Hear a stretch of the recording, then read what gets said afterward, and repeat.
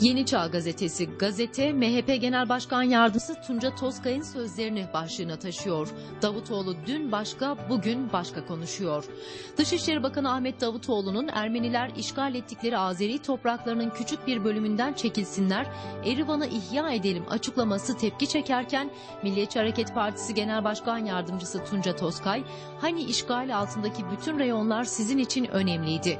Komisyona bilgi verirken bu sözü söylemiştiniz dedi. Davutoğlu'nun dün başka, bugün başka konuştuğunu ileri süren Tozkay, Ermenilerle protokol imzalandığında kendisinin Türkiye Büyük Millet Meclisi Dışişleri Komisyonu'nda olduğunu vurguladı. Tozkay, küçük bir yerden çıksalardı biz hemen sınırı açacaktık diyor. Protokolün imzasından sonra Dışişleri Komisyonu'na geldi bildiğimiz şeyleri anlattı diye konuştu.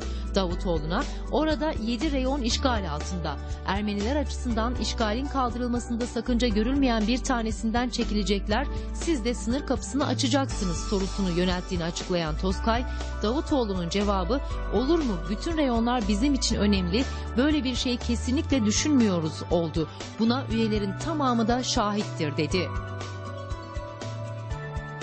Orta Doğu Gazetesi, gazete MHP Genel Başkan Yardımcısı Reşat Doğru'nun AKP'nin uyguladığı tarım politikalarına ilişkin açıklamasını başlığına taşıyor. Çiftçimiz topraklarını terk ediyor. MHP Genel Başkan Yardımcısı Reşat Doğru, partisinin Vali Kemal Yazıcıoğlu Spor Salonu'ndaki Ordu İl Kongresi'nde yaptığı konuşmada ordunun hızla göç veren bir il olduğunu söyledi. Hükümetin uyguladığı tarım politikası nedeniyle çiftçilerin tarlalarını, topraklarını bırakarak başka yerlere göç ettiklerini vurgulayan Doğru şunları kaydetti. Çiftçi kardeşlerimiz tarlalarını, topraklarını bırakarak başka yerlere göç etmektedirler. Fındık ordunun en önemli varlığıdır ama fındıkta çok şey kaybedilmiş ve fındık üreticisi her gün daha fazla kaybeder duruma gelmiştir. Fındık sezonu bir ay içinde başlayacak olmasına rağmen hükümetin üreticiye vermiş olduğu herhangi bir destek yoktur. Son 3 yıldan beri hükümet yeni fındık politikası uygulamış ancak her yerde olduğu gibi burada da fındık üreticisi kaybetmiştir. Bu hükümet tarafından Fisko Birlik yok edilmiş, Toprak Mahsulleri Ofisi tarafından fındık alımı düşünülmüş ancak maalesef Toprak Mahsulleri Ofisi de fındık alımına girmemiş, kaybeden yine üretici olmuştur. Fındık üreticisi kaybederken dış güçler fındığımızın üzerine kara bulut gibi çökmüşler ve fındığı nasıl iç ederiz çalışması içinde olmuşlardır. Doğru, AKP hükümetinin halka verdiği sözleri yerine getirmediğini de öne sürerek bugün geldiğimiz noktada yolsuzluklarla mücadele etmek yerine yoksullukla mücadele eder hale geldik diye konuştu. Milli Gazete, gazete MHP Ankara Milletvekili Özcan Yeniçeri'nin hafta sonu yapılan KPSS'ye ilişkin eleştirisini haber yapıyor. ÖSYM yine eline yüzüne bulaştırdı. MHP Ankara Milletvekili Özcan Yeniçeri, ÖSYM bir sınavı daha ağzına burnuna bulaştırma başarısını göstermiş bulunmaktadır dedi.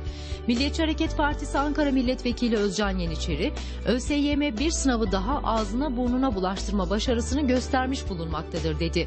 Yeniçeri, Türkiye Büyük Millet Meclisi'nde düzenlediği basın toplantısında hafta sonu yapılan kamu personeli seçme sınavının sorularının önceden verildiği, kopya yapıldığı yakınmalarına muhatap olmaktan kurtulamadığını savundu. ÖSYM bir sınavı daha ağzına burnuna bulaştırma başarısını göstermiş bulunmaktadır diyen Yeniçeri, Türkiye'nin iki yıl sonra yeniden bir soru sızdırma skandalıyla karşı karşıya olduğunu öne sürdü. ÖSYM'nin KPSS ile ilgili kamuoyunu tatmin edici bir açıklama yapamadığını belirten Yeniçeri, şifre, kopyalama ve sızdırma skandallarının ÖSYM'de sıradanlaştığını iddia etti.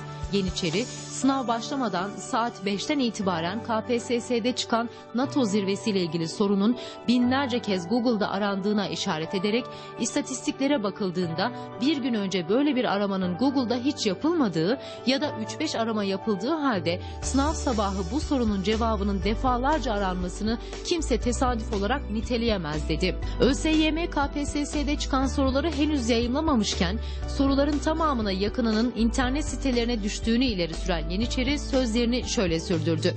Bu iddialar gençlerin geleceğini tayinde hayati önemi olan bir sınavla ilgilidir. KPSS son zamanlarda adeta bir ticari mala dönüşmüş bulunmaktadır. Gençlerin geleceği kopyalara, sızdırmalar ve şifrelere kurban ediliyor. İddiaların tamamı yalan ve yanlış olsa bile ortaya konulan kanıtlar ve söylentiler toplumda kurumlara karşı büyük bir güvensizlik oluşturmaktadır. Kopya, şifre ve sızdırma gençlerin geleceği konusunda yeise ve karamsarlığa kapılmalarına neden olmaktadır. ÖSYM'nin bütün iddiaları en ince ayrıntılarıyla irdeleyip kamu vicdanını rahatlatacak şekilde kanıtlarıyla birlikte ortaya koyması şarttır. Aydınlık Gazetesi gazete MHP'li Yeniçeri sınav ticari mala dönüştü başlığını kullanıyor. Habertürk gazetesi gazete MHP Manisa Milletvekili Sümer Oral'ın sözlerini başlığına taşımış futbolcuya %15 vergiyi kendileri çıkardı. Maliye Bakanı Mehmet Şimşek'in yıldız futbolcuların ödediği %15'lik vergi oranının Avrupa seviyesine çekilmesine ilişkin açıklamasına eski Maliye Bakanı MHP Manisa Milletvekili Sümer Oral'dan tepki geldi.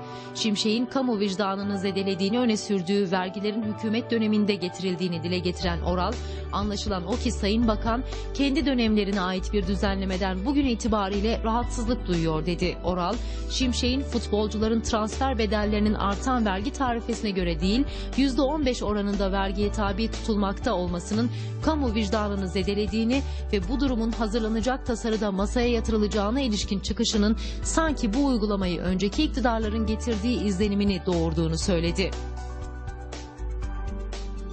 Orta Doğu Gazetesi. Gazete MHP Balıkesir Milletvekili Ahmet Duran Bulut'un sözlerini başlığına taşıyor. Bulut dil ve imla kılavuzu konusunu meclise taşıdı. MHP Balıkesir Milletvekili Ahmet Duran Bulut eğitimimizde bir türlü çözülmeyen ve çocuklarımızın dil bilincini zedeleyen önemli bir konunun imladaki sıkıntı olduğuna değindi. Yazım kılavuzu hazırlama görevi yasal olarak Türk Dil Kurumu'na ait olmasına karşın birçok kişi, dernek, yayın evinin yazım kılavuzu yayımlamakta olduğunu ve kendilerine göre kurallar koyduğuna değinen Bulut, konuyla ilgili olarak Başbakan Recep Tayyip Erdoğan'ın yazılı olarak cevaplaması üzerine soru önergesi verdi.